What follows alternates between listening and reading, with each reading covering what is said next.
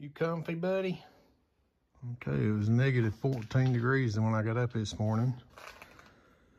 Got me some hot water. I'm gonna try this little hot water cold air test here. Instant snow.